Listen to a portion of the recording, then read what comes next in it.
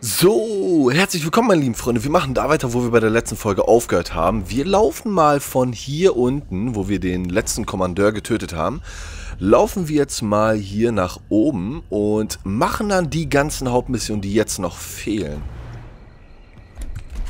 Da vorne sind ein paar Leute, die suchen schon nach mir. Ho, das war ein Schuss.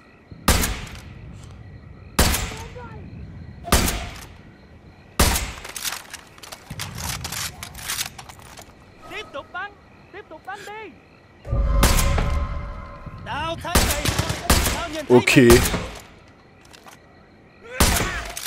Wo kommen die denn her? Okay, jetzt muss ich kämpfen.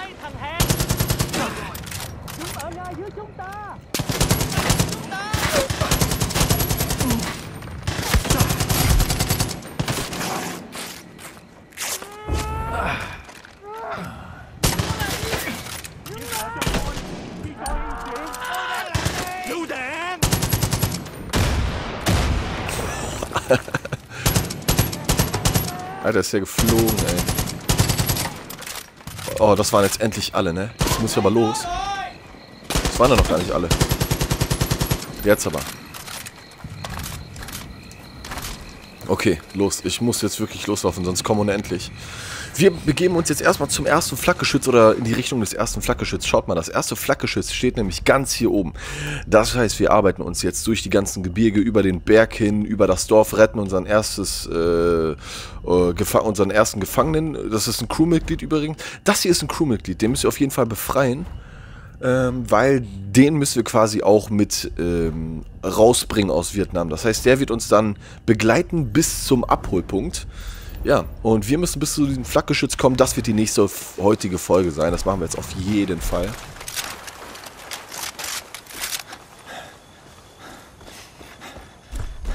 So, ich habe zwei schallgedämpfte Waffen. Einmal ein ähm, Scharfschützengewehr und einmal eine schallgedämpfte Pistole. Beide reichen aus, um mich erstmal leise voranbewegen zu können.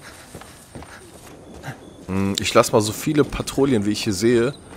Äh, Ich lasse sie mal alle in Ruhe. Das ist mir ein bisschen zu riskant. Ja, die holen immer so schnell... Die holen immer so schnell Verstärkung. Und dann kommen so viele Soldaten, dass man von allen Seiten beschossen wird. Und hier gerade mitten im Dschungel hat man nicht so viele Verteidigungsmöglichkeiten, dass man sich irgendwo hinter Barrikaden verstecken kann. Bäume schützen auch nicht. Es sind einfach zu viele Leute und man sieht die um einen rum einfach nicht. Das ist das Gefährliche beim Kampf im Dschungel. Genau, ich möchte auf diesen äh, Aussichtspunkt da oben, da möchte ich hin. Da möchte ich mal hin, um mal zu gucken, was sich da oben befindet. äh, da sind wir ja bisher noch nicht gewesen. Konsong-Tempel. Wo? Ach, hier unten. Ist hier jemand? Also ich sehe hier gerade keinen. Ich sehe hier gerade keinen. Wir schauen uns mal trotzdem diesen Tempel an.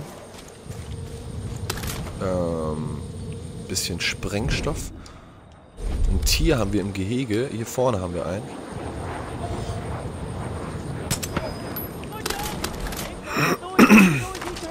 Ja, das Problem ist, Leute. Die wissen wirklich immer genau Bescheid. Die wissen genau Bescheid, wo ich bin. Wenn ich einen abschieße. Eigentlich darf ich gar keinen mehr abschießen. Ich muss die wirklich nur noch... Okay, die wissen immer noch nicht, wo ich bin. Das ist schon mal gut. Das ist schon mal ganz gut. So, jetzt kommt Verstärkung. Oder ist das der, der Entlaufene? So, okay, dann haben wir diesen Tempel auch erledigt. Trotzdem muss ich da jetzt mal irgendwie hochkommen. Ich mache das mal über diesen Weg hier vorne. So, Munition haben wir mitgenommen. Jetzt haben wir eigentlich, eigentlich volle Munition für alle Waffen, die wir jetzt noch bekommen können. Also über diesem Tempel war nicht so viel. Das war wahrscheinlich einfach nur eine, ein Treffpunkt für Patrouillen hier in diesem Gebiet für feindliche Soldaten. Seilrutsche benutzen? Nee, das brauchen wir nicht. Wir wollen ja nicht zurück, wir müssen ja nach vorne Richtung Norden. Wie gesagt, ich bin sehr gespannt, was sich hier oben gleich auf diesem Aussichtsturm befindet. Ob da vielleicht irgendeine geheime Waffe ist, ein Fahrzeug oder was auch immer. Das weiß, das äh, wissen wir nicht genau. Das weiß ich auch nicht. Let's go, let's go, let's go. Okay, okay, da sind schon mal ein paar Wachen, die wir automatisch markiert haben. Ach, halt's mal. So, dann gucken wir mal, was aus, äh, auf diesem Aussichtsturm ist. Ne, nur Pfeile und ein Medipack. Das Doofe ist, man kann von diesem Aussichtsturm auch nicht schnell runterspringen. Man verliert extrem viel Energie, wenn man von da oben direkt runterspringt. So, dann retten wir mal unseren ersten Kameraden. Und das ist hier vorne der. Den müsst ihr auf jeden Fall retten. Äh, ich hab's doch markiert. Ne, da, 300 Meter. Ähm, zu den Crewmitgliedern kann ich sagen, das haben die jetzt so gemacht, dass man kann die retten. Ähm, aber sollte ich entdeckt werden bei der, bei der Rettungsaktion, dann kann es sein, dass sie den einfach töten. Und dieses Crewmitglied ist dann für den Rest des Spiels tot. Das heißt, den kann ich dann nicht mehr rausholen. Haben die ein bisschen schwer gemacht, aber auch spannend gehalten, weil man muss umso vorsichtiger spielen jetzt. Man möchte natürlich versuchen, alle drei Crewmitglieder rauszuholen. Und wenn dann einer stirbt, dann ist er halt weg und man kann nur noch mit zwei Leuten entkommen. Spannend gemacht auf jeden Fall. Ich möchte auf jeden Fall versuchen, den rauszuholen. Was ist das? Ein Snipergewehr ohne Schalldämpfer. Das ist schon mal schlecht. genau. Gefangenenlager. Das, den müssen wir jetzt auf jeden Fall da rausholen. Oh, sorry. Aber von hier oben sehe ich nicht so viel. Das heißt, wir gehen jetzt erstmal runter. Und hier haben wir ein Fallschirm und gleichzeitig ein Feuerzeug. Genau, ein Feuerzeug haben wir.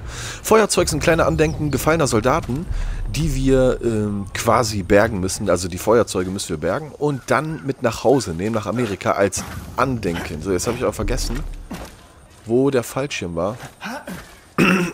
Hier vorne. Ähm, dementsprechend müssen wir immer die Soldaten, die mit dem Fallschirm hier gelandet sind, suchen. Der ist jetzt hier vorne. Also genau, das sind einfach Feuerzeuge, die wir bergen müssen von gefallenen Soldaten, die wir dann mit nach Hause bringen müssen für die, ja als Andenken für die Angehörigen, denke ich mal. Ich weiß es nicht genau. Das ist so ein bisschen wie die Erkennungsmarke. Okay, wir haben doch einige Soldaten hier. Ein eingesperrtes Tier, das ich entlassen könnte, aber dann ist die Chance hoch, dass sie den exekutieren. Meine Leute muss ich auf jeden Fall befreien, genau. Das ist jetzt die Aufgabe. Okay, meine Freunde, das war natürlich so nicht geplant.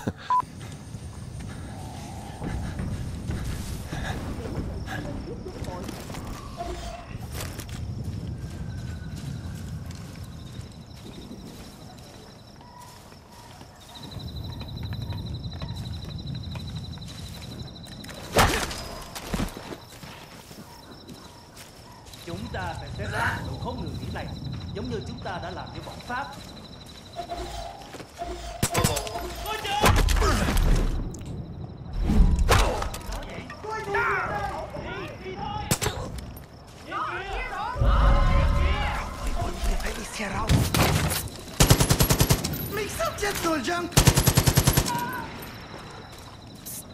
Joker! Hörst du mich? Alles klar, Kumpel? Okay, dann haben wir auf jeden Fall befreit. Das ist unser erstes Mitglied. Chavez ist bei mir. Er lebt und ist wohl auf. Herausragend, Python 2-5. Wir warten auf Sie. So, das ist unser erstes Crewmitglied, das wir auf jeden Fall gerettet haben. Und das wird uns jetzt ähm, die ganze Zeit verfolgen bis zum Abflug aus Vietnam raus. Problem ist, man kann ihm, glaube ich, nicht wirklich sagen, ob er stehen bleiben soll, angreifen soll, sich zurückhalten soll, warten soll und so weiter. Das weiß ich nicht. Wir, wir, wir gucken mal, was unser Spiel jetzt sagt. So.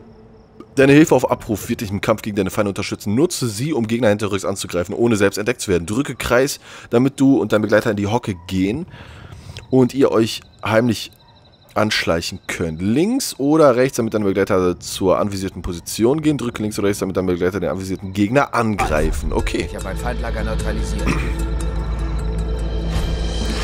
So, damit haben wir das Feindlager auch direkt mit, mit neutralisiert. Jetzt fehlt eigentlich nur noch... Jetzt fehlt eigentlich... Oh, das ist eine geile MK16. Die nehmen wir natürlich mit. So, Munition, eigentlich habe ich alles, ne? Vielleicht könnte ich das hier noch gebrauchen. Nö, jetzt passt alles. Das ist, wie gesagt, jetzt ein Crewmitglied. Der wird uns jetzt begleiten.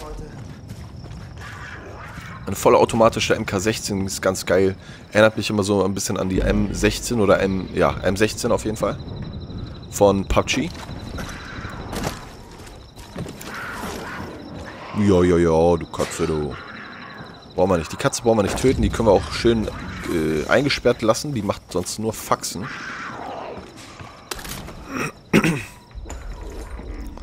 Lesen. Letzter Wille und Testament von Private Cain Chavez. Chavez.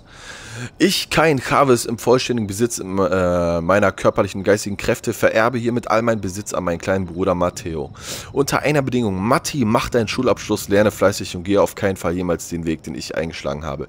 Tust du das, bekommst du meinen ganzen Kram, sogar meine Gitarre. Einverstanden? Kümmere dich gut um Mama, sie ist eine Heilige. Ich hab dich lieb, kleiner Bruder Kyan. Ein Testament an den kleinen Bruder. Ich glaube, wenn man im Krieg ist und man möchte, man möchte seiner Familie mitteilen, wie es hier ist, dann kann man das gar nicht mit den gleichen Gefühlen, wie, wie man es hier erlebt. Und ich glaube, jemandem einen kleinen Anreiz zu geben, nicht in den Krieg zu gehen, ist schon mal ein guter Anfang. Nämlich zum Beispiel das Erbe. Oh. Ja, ganz ehrlich, sag mal, wenn du mir vor die Flinte läufst. So. So, wir müssen jetzt erstmal gucken, dass wir hier hochkommen. Ich glaube, das ist auch der einzige Ort, wo hier ist nur ein abgestürztes Wrack. Uh, wer sieht uns denn da fast? Äh, wir können auch, wir machen das so, wir laufen erstmal zum Wrack. Und dann laufen wir zum Geschütz.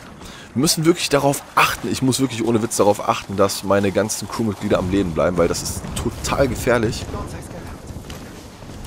Wenn die einmal abgeschossen werden, laufe ich alleine rum. Und ich würde schon gerne alle drei Crewmitglieder bergen.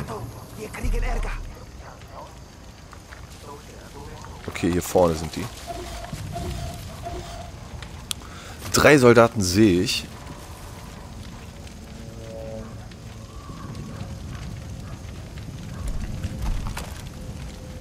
Also, ich sag mal so.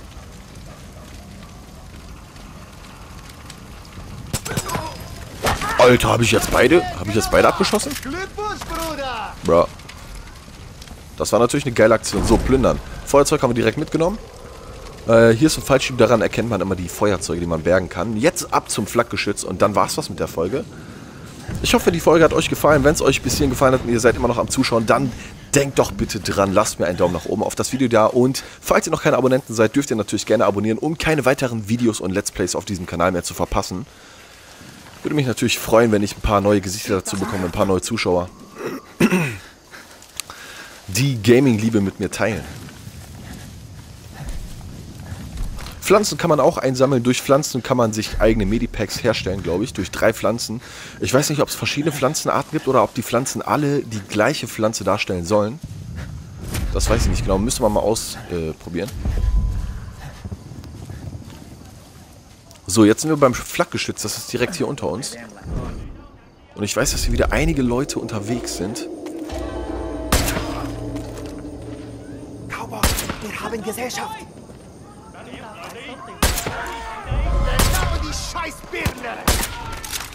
Okay. Die wissen, wo wir sind, deswegen ich zerstöre jetzt erstmal das Flak. Dann ist das erledigt.